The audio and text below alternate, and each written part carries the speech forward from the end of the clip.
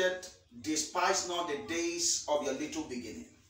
Now, listen to me. As a child of God, you are destined to be a high flyer. You are destined to be mighty on the earth. You are destined to be very great. You are destined to be very prosperous.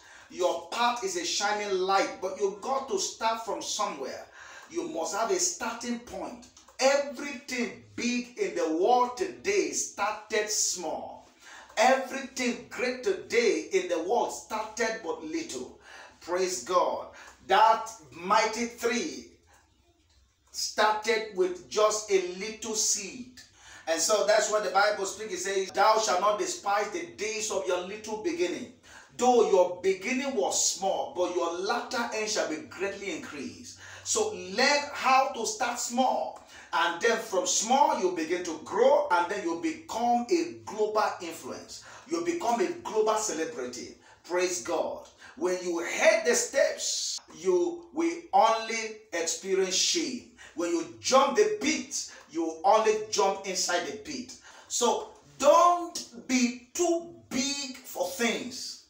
There are individuals, there are people, you see them, they are too big for this job, they are too big for this business, they are too big for this, they are very selective, and that is a dangerous steps. That is a dangerous mentality. Don't be too big for things. Learn how to start small and then believe God for great things. Joseph, as a seed of Abraham, he had a big dream, but he started as a houseboy. He started as a slave, and then later he became the king and the ruler of Egypt. The Bible speaks, it says, and when Joseph revealed himself to his brothers, he said, Go tell my father that the Lord has made me a father over Pharaoh. Praise God. We saw in the life of a man called Mordecai. Mordecai, as a seed of Abraham, as a child of God. Now, the Bible says he started as a gate man. He started as a gate man, but he didn't end up as a gate man. He ended up as second in command of 120 states.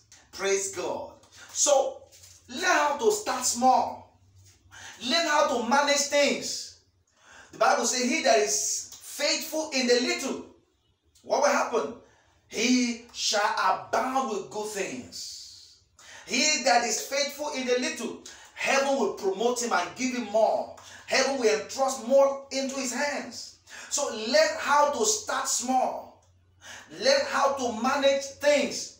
When you fail to manage the small, you are waiting for the big, you will never be big. For the journey of a thousand miles start with a step. Listen to me. Success is a step and another step and another step and then you are heading for success. Outside this, there is no success. And so I encourage you today, whatever it is, if it's granite, you will start, start selling granite. If it is kerosene, start selling kerosene. Whatever it is that the Lord has put in your heart, start it. Do it diligently. Do it faithfully. Have a vision for it. Set a goal for it. And then you will become a man of great exploit with the help of God with you. I pray for you. Receive the grace not to procrastinate anymore. Go ahead and start it. And heaven will help you in Jesus' name.